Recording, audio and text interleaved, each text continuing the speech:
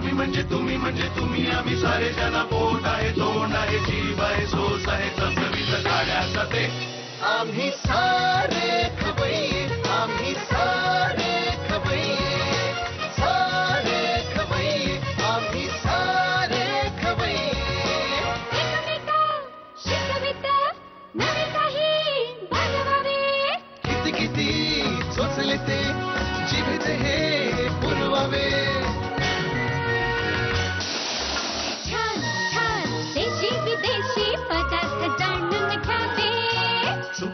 चुकता करता करता खावे अन खिलवावे आम्ही सारे खवैये आम्ही सारे खवैये सारे खवैये आम्ही सारे खवैये नमस्कार आम्ही सारे खवैच्या आई मला भूक लागलीच्या ह्या सिरीजमध्ये सगळ्यांचं मी मनापासून स्वागत करतो.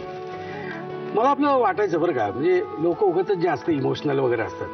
हा उगाच आपलं. म्हणजे मी आता मी नाही का इतकी वर्ष घरापासून लांब आहे. हा माझ्या माझ्या घरसाठी फारसं काही मिस केलं नाही मला. मी पण नाही मिस केलं कारण काम. उगाच आपल्या आसोगात बसायचं असं मला वाटायचं. पण मध्यंतरी मध्यंतरी माझ्या मोठ्या मुलीचं लग्न झालं बरं का आणि आता ती नवऱ्यावरून सिंगापूरला असते. एअरपोर्टला सोडायला गेलं तर ना त्या परिस्थिती माझी फारशी बरी नव्हती. आणि मग आठवून आठवून तिची आठवण झाली की डोळ्यातून पाणी येणं मग फोन करणं हे आपलं चालू होतं. म्हणजे मला काय वाटत होतं की लग्न झाल्यानंतर दर दोन दिवसांनी मला माझ्या बायकोची समजूत घालायला लागेल. झालं उलटच. असं असं. पण कसं आहे की म्हणजे लहानपणापासून अंगा खांद्यावर वाढवलेल्या मुलाला किंवा मुलीला मिस करायचं नाही असं कसं होऊ शकेल? आहे की नाही? कारण काय म्हणजे आता जेव्हा माझी मुलगी म्हणते माझ्या आईच्या हातचे भाजणीचे काय तुमचे वडे खायचे. म्हणजे मला वाईट वाटतं. म्हणजे मी माणसाला जर पंख असते तर उडत उडत मी डबा नेऊन दिला असतं तिला.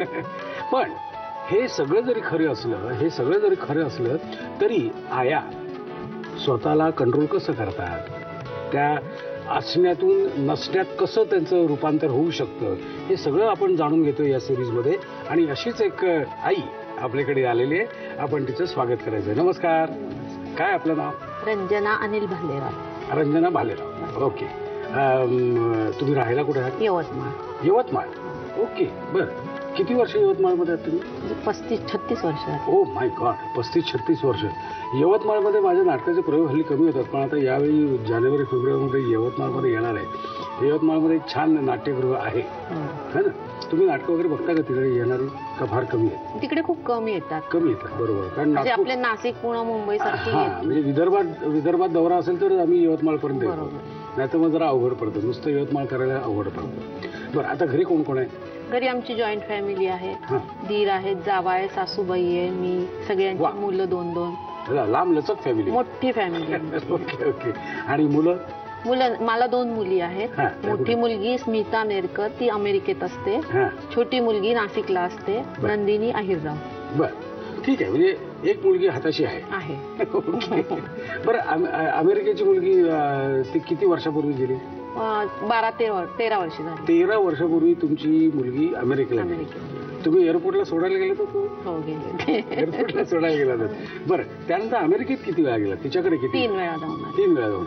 आणि मुक्काम किती दिवसाचा होता अमेरिकेत? तिच्याकडचा? सुरुवातीला तीन महिने दुसऱ्यांदा गेली तेव्हा चार. महिने नंतर गेली तेव्हा अडीच तीन महिने. बर. साधारण मुक्काम असायचं तर बरं का? आजी आजोबांचं तिकडे.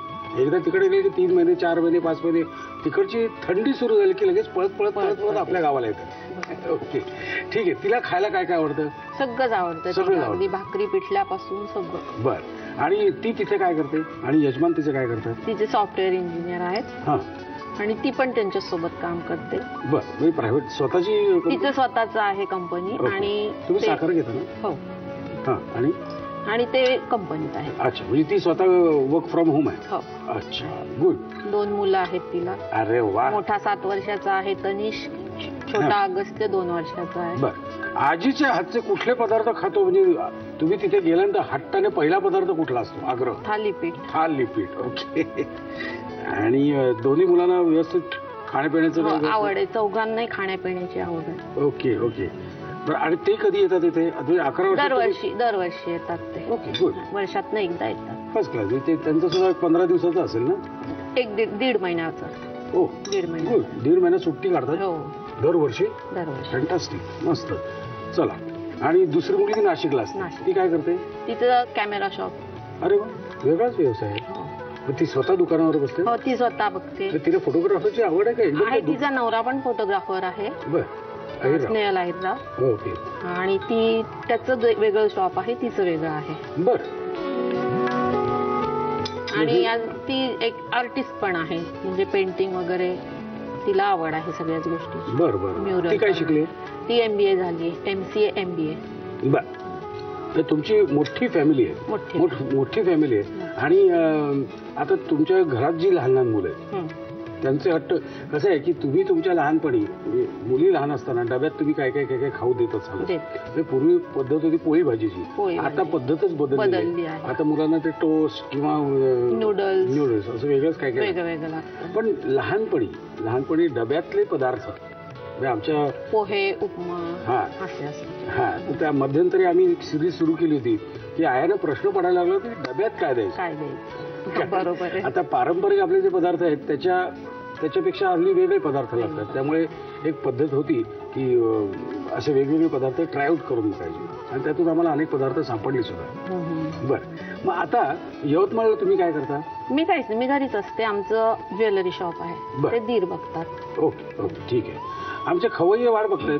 हो. आज एक आई अमेरिकेतल्या मुलीसाठी एक पदार्थ एक नाशिकल्या मुलीसाठी एक पदार्थ करून बघणार आहे आणि अर्थात खाणारे मी खाणारे मी.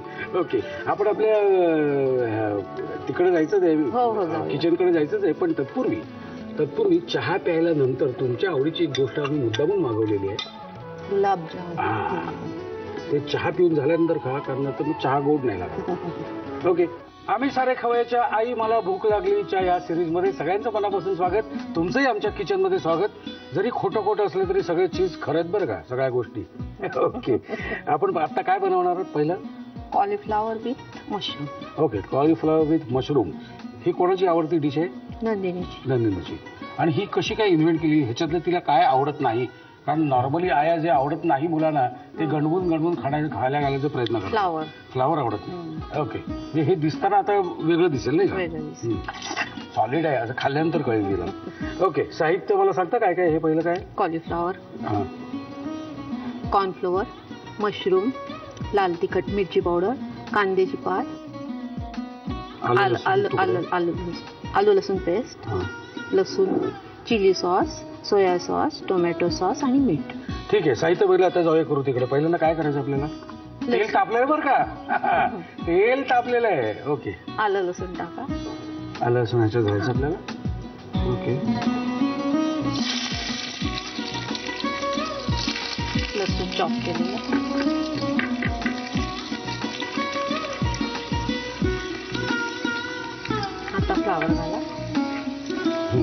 वास त्याचा कमी करण्यासाठी तुम्ही एवढी हां. धावपळ केलेली आहे.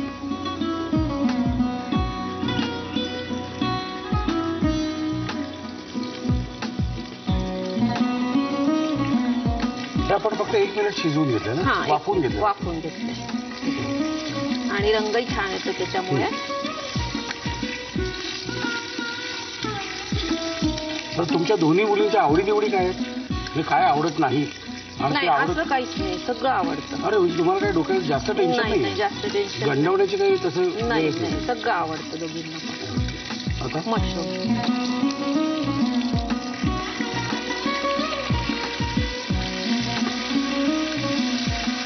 आलं लसूण पेस्ट?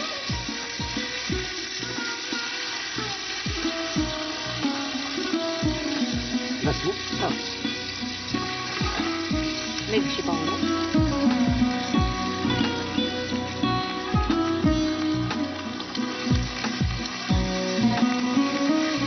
यवतमाळ साईडला तसं तिखट खातात. हां तिखट.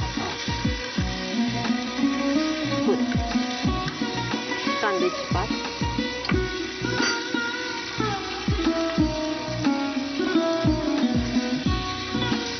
आता गॅस थोडा लहान करू. पाणी. एक भा बाऊल लागेल. नाही नाही. याची पेस्ट करून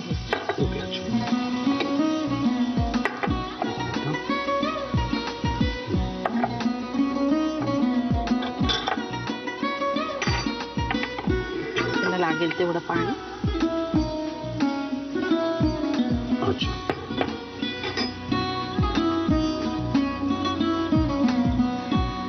ती त्यात घालायची ना? म्हणजे थोडस घट्टपणे हे तुमचं आता एकत्र कुटुंब हो. आहे एकूण कुटुंब सदस्य किती आहे? सोळा. सोळा? हो त्यातले आता मुलींचे लग्न झाले. एकाच मुलीचं लग्न व्हायचं एका दिराच्या मुलीचं. बाकी सगळ्यांच्या मुलींचे लग्न झाले.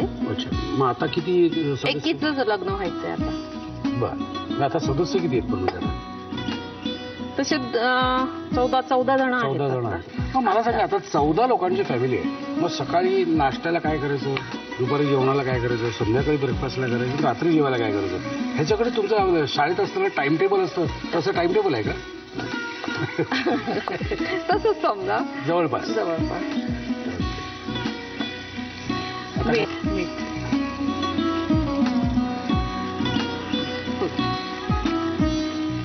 आता हे तिन्ही सॉस एक एक चमचा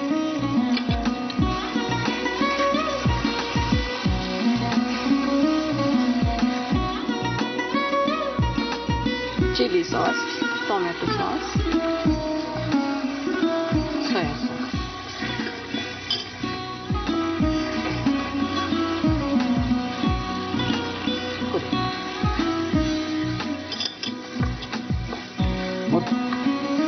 यवतमाळला हां. किचन तुमचं किती वाजता सुरू होतं? एक सुरू म्हणजे आता मुंबईत साधारणपणे सकाळी सात पासून सुरू होतं. हा. म्हणजे शाळे शाळा कॉलेजमध्ये जाणारे मुलं मुली ओके. त्यांचे चहापासून सुरुवात होते. नॉर्मली एक टाइम टेबल असतं. म्हणजे हा. मुंबईत साधारणपणे अं, सहा साडेसहाला घर सुरू होतं. डोंबिवली कल्याण विरार भाईंदर ही मंडळी पाच वाजता त्यांचं किचन सुरू होतं. आणि साडेआठ आठ साडेआठला संपतं. प्रत्येकाचं हा, किचनचं रेडी हो. अरे फर्स्ट क्लास हे कशावर खाता येईल आपल्याला? हे आपल्याला सॉसेस सोबत खाता येते बरं. नाही म्हणजे प- पोळी? नाही असंच नुसतं खाता खायचं. येतं. आणि हे. आपल्याला परत आता हे डीप फ्राय पण आपण करू शकतो. बरं. त्याच्यात कुरकुरीतपणा येतो डीप फ्राय ओके. म्हणजे ज्यांना हा. यम्मी खायची हौस असेल त्यांनी हे जे डीप फ्राय करावं हे आपल्या नॉर्मल लोकांसाठी आहे. ॲबनॉर्मल लोकांनी डीप फ्राय करावं. लिहून घ्या साहित्य आणि कृती. कॉलीफ्लॉवर विथ मशरूम्स बनवण्यासाठी लागणारं साहित्य उकडलेला फ्लॉवर कॉर्नफ्लॉवर मशरूम्स तिखट कांद्याची पात आलं लसणाचे तुकडे आलं लसणाची paste chilli sauce soya sauce tomato sauce आणि मीठ. कृती प्रथम एका फ्रायमध्ये तेल गरम करून त्यामध्ये आलं लसणाचे तुकडे परतून घ्यावेत. त्यामध्ये उकडलेला फ्लॉवर मशरूम्स आलं लसूण पेस्ट तिखट कांद्याची पात पाणी घालून तयार केलेली कॉर्नफ्लॉवरची पेस्ट मीठ टोमॅटो सॉस चिली सॉस आणि सोया सॉस घालून परतून स्टार्टर सर्व्ह करावं. चला जाऊ आता पुढच्या रेसिपीकडे आपली पुढची रेसिपी काय? आहे पायनॅपल खोबऱ्यावरती पायनॅपल खोबरा बर्फी. हे कोणाला आवडतं? हे स्मिताला आवडतं. स्मिताला आवडतं स्मिता तुझ्यासाठी अं, आई बनवते वडी खाणार आहे मी. ओके अं, साहित्य सांगा मला काय काय. खवलेलं नारळ हम्म. जाड साखर पायनॅपल पल्प पिठी साखर विलायची तूप पिस्त्याचे काप. ओके साहित्य बघले. आणि तूप लावलेली डिश ही फार महत्वाची आहे. हे करून उपयोग नाही. थापणार कशावर तुम्ही? आणि आता नेहमीप्रमाणे कामाला सुरुवात झालेली आहे. मी तेल घालणार होतो. तेवढ्या साठी सांगितलं तेल घालायचं नाहीये. तूप घालायचं तूप घातलंय. आपल्याकडे रेडी असतं सगळं. बरं आता काय करायचं मला सांगा? खोबरे. खोबरं?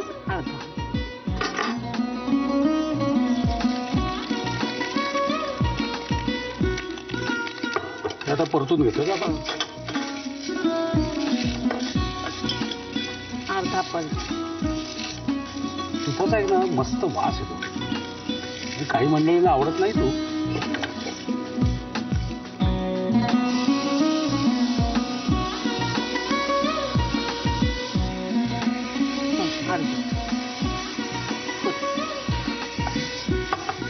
आता याला परतू द्यायचं. असा थोडासा पल्प समजा शिल्लक राहिला तर ह्याचं काय करायचं? प्रश्न पडायचं काहीच गरज नाही काय करायचं हे मस्त आता हे ऑलरेडी आपण पल्पच आहे. ओके? पण तुम्हाला अजून असं वाटत असेल की अजून काहीतरी करूया ह्याच्यात ही साखर घालायची. हां? साखर घातल्यानंतर ते परत मिक्सरमधून काढायचं. आणि मग ते आत फ्रीजमध्ये ठेवायचं. फ्रीजमधून ठेवून ते थंड होतं. हां? थंड झाल्यानंतर त्यात पाणी घालायचं. ते पाणी सुद्धा थंडच घालायचं. किंवा बर्फाचे तुकडे घातले तरी चालतील. एक असा ग्लास घ्यायचा. एक ग्लास घ्यायचा त्यात ओतायचं. आणि मग काय करायचं? हां प्यायचं. किती सोपं आहे ना? मग मी आता तेच करीत म्हणतो. जरा ते होत आलंय किंवा आपण पायनॅपल मिल्कशेक करू शकतो. मस्त हे बाजूला ठेवून देतो माझ्यासाठी. ओके. आता आपल्याला कमी करू? मोठा. मोठं पाहिजे. आता हे आता घट्ट होत आले हळूहळू. बरं तुमचे आता इतर छंद काय? गाणं किंवा असं काही? आहेच ना टी व्ही बघणं छान राहणं छान खाणं वेगळ्या वेगळ्या रेसिपी बनवणं त्या स्वतः खाणं दुसऱ्याला खाऊ घालणं. आणि असं सगळ्यांचे सुखदुःख जाणून घेणं त्यांना मदत करणं. बरं आउटिंगला कुठे जाता तुम्ही? फिरायला वगैरे जातात नाही कुटुंब अख्खं? हा जातात ना. कुठे कुठे जातात? असे कुठेही जाऊ शकतो. म्हणजे असं महाराष्ट्रात जातो महाराष्ट्राच्या बाहेर जातो. अच्छा. केरळा वगैरे. हा.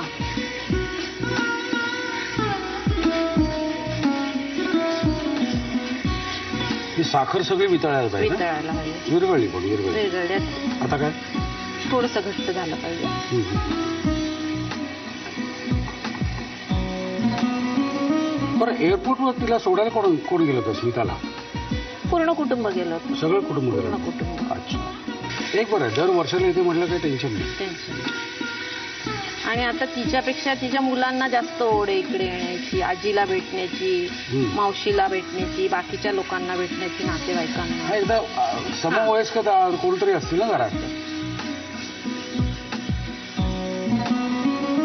ओके? आता पिठी.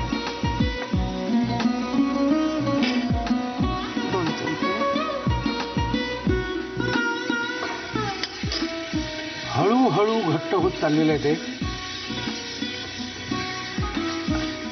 आणि हे कधी घालायचं वेलची पूड घाला?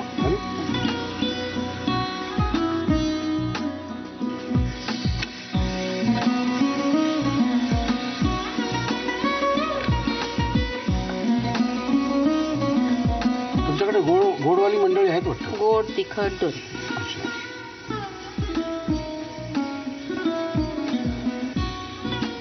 झालं? हो, बंद करू मी? बंद.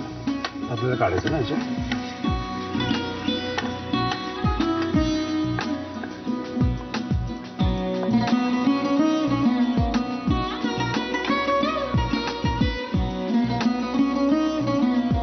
त्याचे उभे आडवे काप घ्यायचे आणि त्याच्यावर ही वेलची पावडर पिस्ता घालायचा आणि मग सर्व करायचं.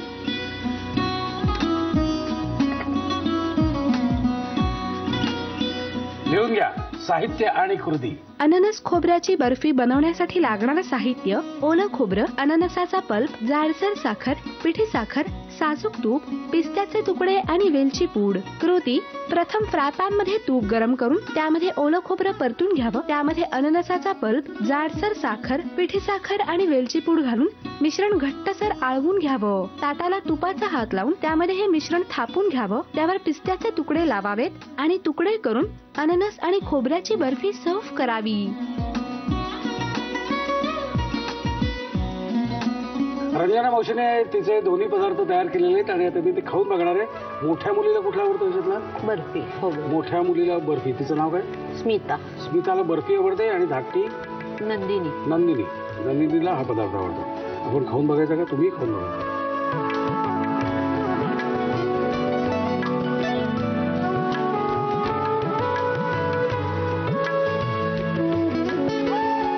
उत्तम.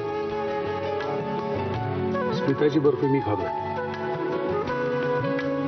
उत्तम दोन्ही पदार्थ उत्तम झालेले आहेत. इतके दिवसांच्या विचारानंतर मला एक विचार तुमच्यासमोर मांडायचा तो असा की सवय होण्याची सुद्धा सवय असते नाही का आपल्याला?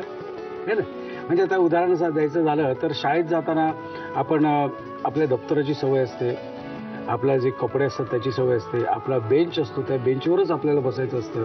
त्यानंतर मोठं झाल्यानंतर एखाद्या बागेतल्या बेंचची सवय असते. मग आपल्याला पांघरुणाची सवय असते. मग आपल्याला कॉफीच्या मगची सवय असते. मग आपल्याला घरातल्या एका एका पर्टिक्युलर जागेची सवय असते. आपल्याला आपल्या मुलांची सवय असते. मोठे झाले त्यांना तरी सवय असते. ह्या सवयी सगळ्या मोडायच्या कशा? प्रॉब्लेम आहे. आणि ह्या सगळी सवयी आपण मोडल्या तर आपण आपण राहू का? नाही. म्हणजे मी आणि माझी बायको जेव्हा माझ्या लहान मुलांच्या मुलींचा फोटोचा अल्बम बघत बसतो तेव्हा मला हसायचं हसायला येतं. आणि आम्ही असं विचार करतो काय पटापट काळ उडून गेला.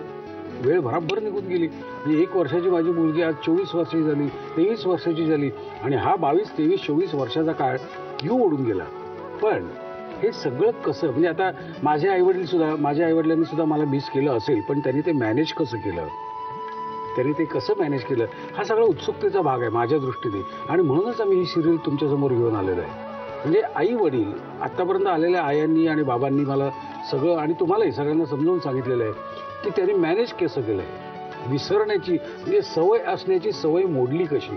हे त्यांनी मॅनेज कसं केलं? हे आपल्याकडे त्यांनी सांगितलेलंच आहे तुम्हालाही सांगितलेलं आहे. पण अजून तुमच्यापैकी कोणाला काही असं सांगायचं असेल तर आम्हाला लिहून लगेच कळवा आमचा पत्ता असा आहे. आम्ही सारे खवय्ये Zee Marathi post bag number एक अंधेरी पूर्व मुंबई नव्याण्णव Bharat T V C Zee Marathi at Zee network dot com मला खात्री आहे तुम्ही पत्ता लिहून घेतलेला असणारच. आणि तुम्हाला तुम्ही एवढं यवतमाळून इथे आलात त्याबद्दल तुमचे मी खूप मनापासून धन्यवाद करतो. आणि त्याचबरोबर तुम्हाला एक छोटीशी आमच्याकडून प्रेमाची भेट द्यायची.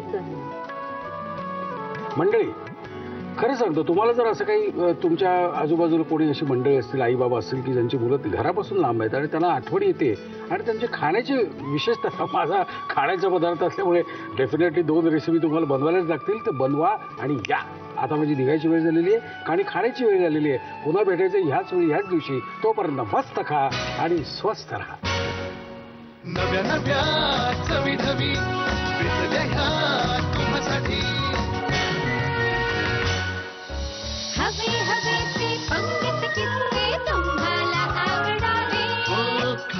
आपली पहिली रेसिपी आहे विदर्भी वडा.